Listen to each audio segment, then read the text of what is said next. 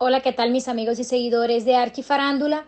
Les comento que como todos sabemos, la espera terminó y Shakira dio a conocer su nuevo álbum denominado Las mujeres ya no lloran, nombre que hace referencia a una famosa frase que hace parte de la canción que realizó en compañía de Bizarrap.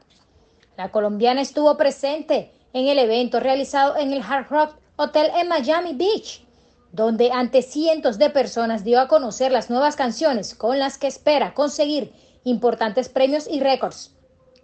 Según mencionó la barranquillera, a la Shakira que empezó a hacer este disco le diría que mire hacia el futuro, porque lo que viene es muy bueno.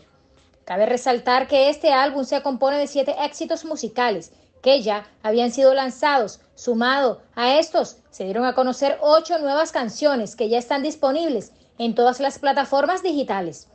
Esta pieza discográfica está marcada por la época que vivió Shakira debido a la separación con su expareja, quien ha recibido múltiples mensajes indirectos a través de las canciones de la colombiana.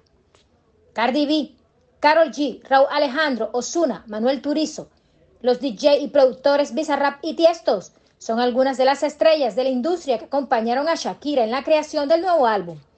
Cabe mencionar que desde hace más de siete años la colombiana no realizaba un lanzamiento de esta magnitud.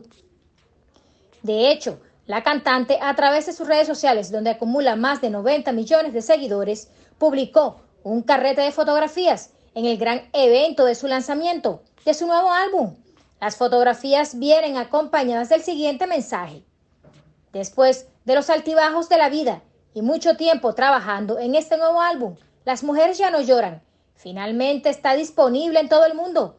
Gracias a todos por el increíble apoyo que me habéis dado. Sin ti, no lo habría logrado. Hemos elaborado este álbum juntos. Eres la mejor manada que un She-Wolf podría haber pedido. Te quiero.